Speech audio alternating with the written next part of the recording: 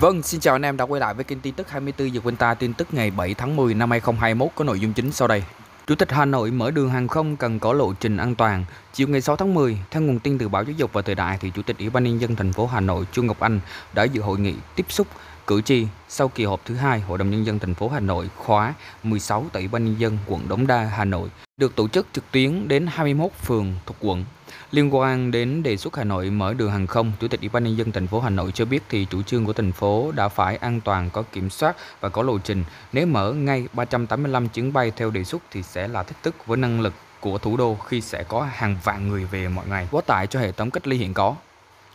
Và phát biểu tại hội nghị thì Chủ tịch Ủy ban nhân dân thành phố Hà Nội Trương Ngọc Anh nhấn mạnh, thành phố đã tranh thủ thời gian vàng trong quá trình thực hiện giãn cách xã hội để triển khai chiến lược phòng chống dịch bệnh COVID-19 đã tổ chức xét nghiệm thần tốc toàn thành phố hoàn thành tiêm phủ vaccine cho người dân trên 18 tuổi. Và đến nay thành phố đã được bước đầu kiểm soát được dịch bệnh chuyển từ trạng thái giãn cách xã hội theo chỉ thị 16 sang chỉ thị 15 của Thủ tướng Chính phủ với một số biện pháp cao hơn nhằm bảo đảm an toàn xã hội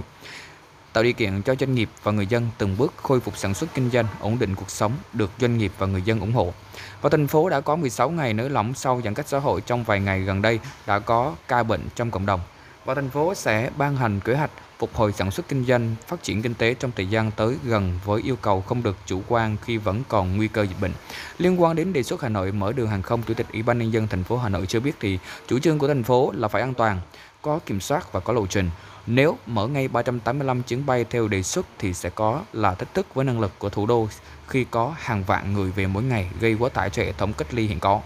Phải cân nhắc thận trọng về thời điểm an toàn cho học sinh đến trường. Liên quan đến vấn đề cho học sinh đến trường vào thời điểm thích hợp thì Chủ tịch Ủy ban nhân dân thành phố Hà Nội nhấn mạnh,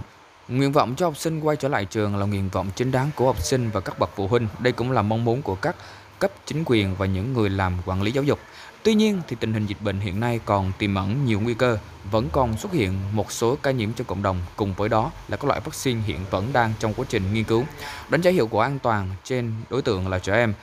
Do đó, việc cho học sinh quay trở lại trường học phải cân nhắc và một cách thận trọng. Chủ tịch Ủy ban nhân dân thành phố Hà Nội nhấn mạnh,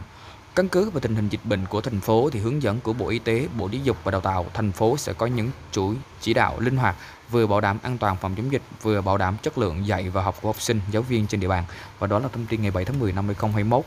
Và nếu anh em thấy thông tin này bổ ích thì điền quên cho tôi, đừng tiếc cho tôi một like, một chia sẻ, một comment để cho biết ý kiến của anh em ở dưới video của tôi và đừng quên đăng ký vào chung nhé. Tạm biệt anh em.